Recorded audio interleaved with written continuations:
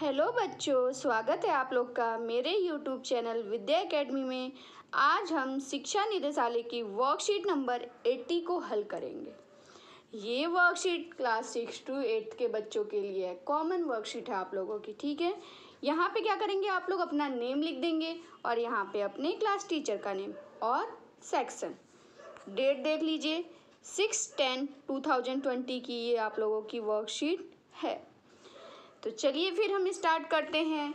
इस वर्कशीट को करना, क्या लिखा हुआ है इस वर्कशीट में? सबसे पहले क्या है, आपको दिख रहा है यहाँ पे प्रदूषण। प्रदूषण से क्या समझ में आ रहा होगा, इसे कौन सी कॉपी में करना है?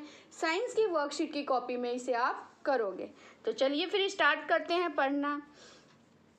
पर्यावरण में हानिकारक पदार्थ का मिल जाना। जो हमारा ये इन्वायरमेंट है एटमोसफियर इसमें जब क्या मिल जाते हैं? हानिकारक पदार्थ मिल जाते हैं। तो यही क्या कहलाता है? प्रदूषण कहलाता है।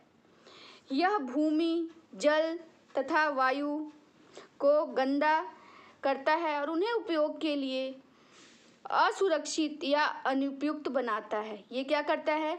हमारी भूमि जो है, हमारा जो जल है, हमारे जो इन्वायरमेंट में हवा है, उसे क्या कर देता है? गंदा करता है और उन्हें उपयोग के लिए असुरक्षित या अनुपयोग बनाता है।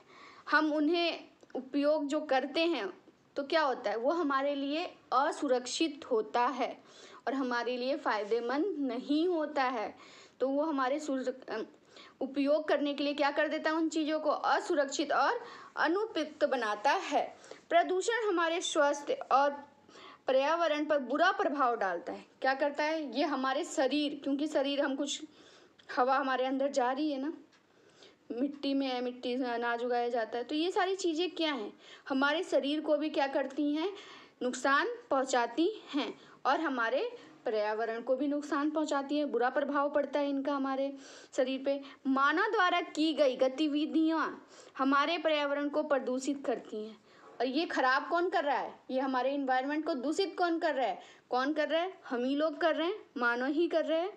ठीक है, उदाहरण के लिए वाहनों और कारखानों से निकलने वाले धुएँ के कारण वायु प्रदूषण होता है। कैसे होता है वायु प्रदूषण? वाहनों से होता है। जो वाहनों से धुआँ निकलता है, कारखानों से जो धुआँ निकलता है, उससे क्या होता है? वायु प्रदूषण होता है। मुख्य प्रकार के प्रदूषण कौन से होते हैं? चलिए देख लेते हैं। कौन से होते हैं?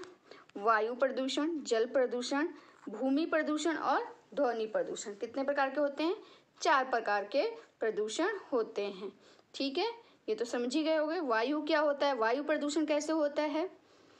इन्वायरमेंट में जब धुआँ, गाड़ियों के वाहनों के धुएँ फैक्ट्रियों के धुएँ अलग अलग चीज़ों के ये आते हैं तो हमारा क्या हो जाता है? वायु प्रदूषण। भूमि प्रदूषण, मिट्टी में जो हम खाद वगैरह डालते हैं पेस्टिसाइड्स कीड़ों को मारने के लिए, उससे भी हमारी क्या हो जाती है? मिट्टी प्रदूषित होती है, जो हम पेड़ों को काट दे रहे हैं, उससे भी भूमि प्रदूषण होता है।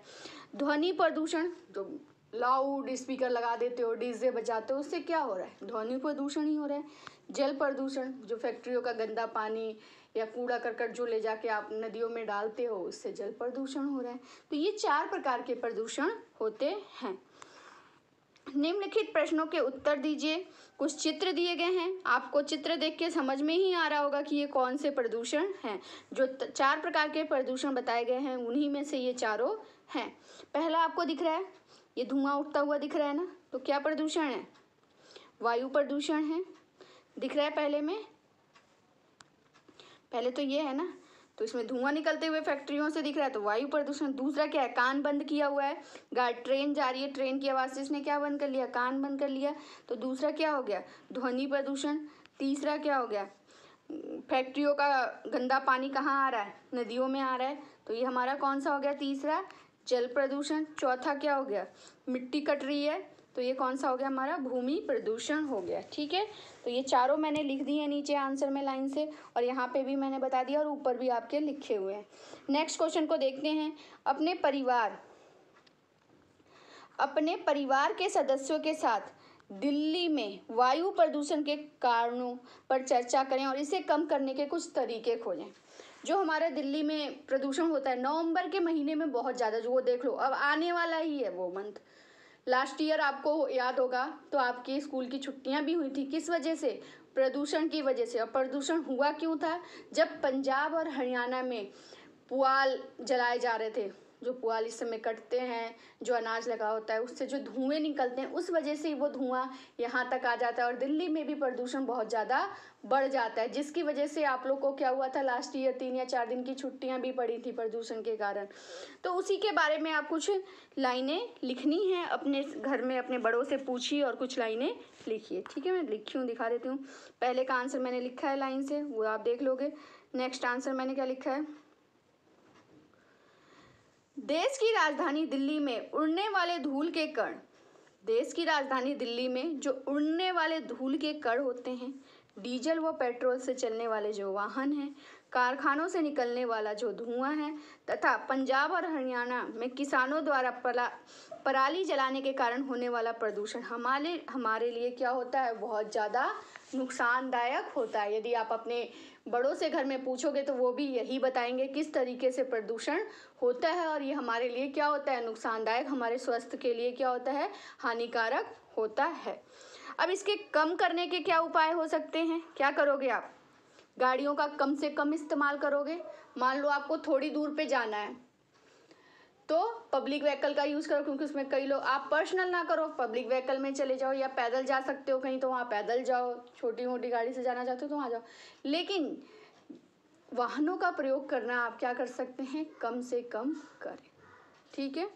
नेक्स्ट क्या है? खुले में कूड़ा ना फेंकें। नेक्स्ट क्या है आपका? खुले में कूड़ा ना फेंकें। जो आप कूड़ा किधर भी ले जाके फेंक देते हो, घर के बाहर फेंक देते हो या घर के बाहर कहीं जगह बनी हो, वहाँ ले जाके फेंकते हो, इससे क्या होता है? हमारा इन्वायरमेंट ही गंदा हो रहा है। इन्वायरमेंट गंदा होगा तो आपके शरीर पे उसका इफ़ेक्ट पड़ेगा। इसलिए कूड़े को बाहर ना फेंकें। पॉलिथीन का इस्तेमाल ना करें। प्लास्टिक जो पॉलिथीन होती हैं, उनका ना करें। थैले का जो कागज़ से बने होंगे या जूट के बने, उनका आप इस्तेमाल कर सकते हो। कारखानों से निकलने वाले धुएँ को नियंत्रित करें।